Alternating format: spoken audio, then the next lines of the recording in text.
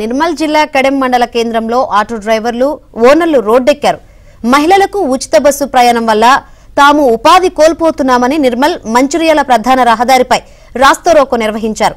ఉచిత ప్రయాణం పథకాన్ని రద్దు చేయాలని డిమాండ్ చేశారు. ప్రభుత్వ నిర్ణయంతో తమ ఆర్థిక పరిస్థితి అధ్వానంగా మారిందని ఆటో డ్రైవర్లు వాపోతున్నారు. కాంగ్రెస్ పార్టీ తమ మేనిఫెస్టోలో ఇచ్చిన హామీల మేరకు రవాణా రంగ కార్మికులకు ప్రత్యేక సంక్షేమ బోర్డును ఏర్పాటు చేసి అర్హులైన ప్రతి ఆటో డ్రైవర్కు పన్నెండు వేల రూపాయలు అందజేయాలని కోరుతున్నారు.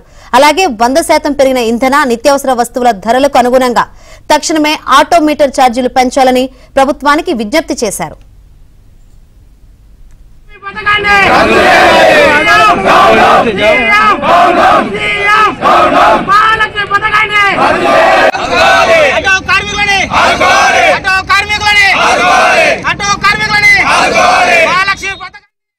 చాలా మంది ఉన్నాం లక్షలాది మంది ఉన్నాం మేము.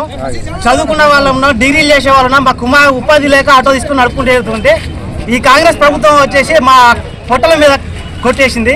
ఇప్పుడు మేము ఏం చేసుకో ఏం పెట్టుకొని నడుపుకోవాలి? మా పిల్లలు మా పిట్టి పిల్లల్ని ఎలా బతికించుకోవాలి? ప్లస్ మా పిల్లలు ఉన్నారు. ఆ పిల్లల్ని కాలేజీలలో స్కూళ్ళలో చదివించుకునే వాళ్ళు ఉన్నారు. వాళ్ళ ఫీజులు ఎక్కడి నుంచి కట్టాలి? ఆటో రెంట్ కట్టుకోవాలి డీజిల్ పోసుకోవాలి ఇవన్నీ మాకు ఎక్కడి నుంచి వెళ్తాయి?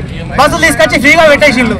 అదేదో దానికి కొన్ని పరిమితులు పెట్టేసి అందులో మాత్రమే ఇచ్చేస్తే అదో దానికో ఉంటుంది లేకుంటే మాకు ఏదన్నా రూపకల్పంగా ఏదో విధంగా సాయం చేసేటట్టు పింఛన ఇంకా ఏదన్నా చేసేటట్టు ఉంటే దానికి మాకు ఎలాంటి ఇబ్బంది లేదు.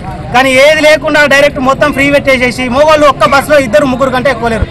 ఒక్కొక్క బస్సులో ముగ్గురు కంటే నలుగురు కంటే ఎక్కువ ఆ ముగ్గురు కూడా ఆ బస్సులో ఇరికిరికి అటు కండక్టర్లకు ఇబ్బంది అవుతుంది వాళ్ళ పాపం డ్రైవర్లకు కూడా ఇబ్బంది అవుతుంది. ఒక్కొక్కళ్ళు ఫుట్పాత్ల మీద నిలబడి నిన్న యాక్సిడెంట్ అయింది మంచిర్యాలలో.